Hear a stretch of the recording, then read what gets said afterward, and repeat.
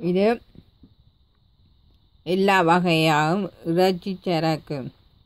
அதாவது கறி வாசமாக இருக்கவும் சத்துள்ளதாக இருக்கவும் இது பல வகைகள் கலந்திருக்கிறது. இது வந்து சாதிக்க இந்த உடைத்து ம், இது இருக்கும் இது சாதிக்க. மற்றது இது கருவாப்பட்டை கருவாப்பட்டை.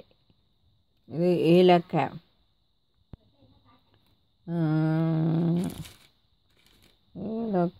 இது கராம்பு. இது பிரியாணி இலை. இதுவும் ஒரு சாதி தானே அஹ், வெள்ளத்தையும் கலந்து இந்த இது.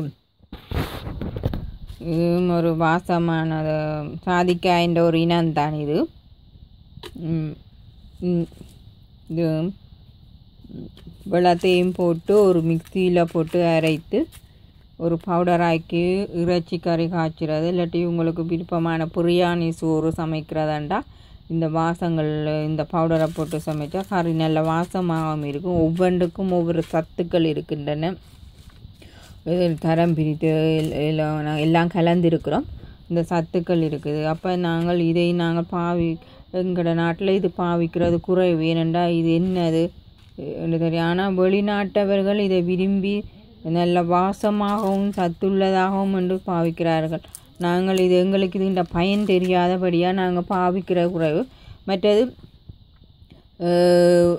இங்கே பாவிக்காதபடியாக எங்களோட நாட்டு மக்கள் வயது போன அம்மா ம வயது குறை ஒரு அறுபத்தஞ்சு வயது ஒன்றுன்னு எல்லோரும் மறிக்கிறார்கள். ஆனால் இந்த நாட்டு வெளிநாட்டு மக்கள் பா இதுகளெல்லாம் பாவி எங்களோட நாட்டு நல்ல சாப்பாடுகளை சாப்பிட்டு எழுபத்தஞ்சி தொண்ணூறு வயது மட்டும் இருக்கிறார்கள்.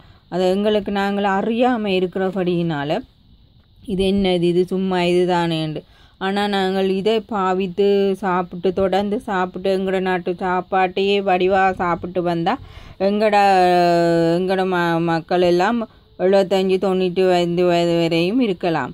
நாங்கள் இதை இப்போது நாங்கள் கண்டுபிடித்திருக்கிறோம். இதை நீங்களும் இப்படி செய்து சாப்பிடுங்க. உணவுள்ள நல்ல சத்து உள்ள சாப்பாடுகளை சாப்பிடலாம். சாப்பிட்டு நீங்களும் இப்படி ஆரோ உடல் ஆரோக்கியமாக இருக்கவும் என்று நாங்கள் உங்களுக்கு இதை அறியத்தோம்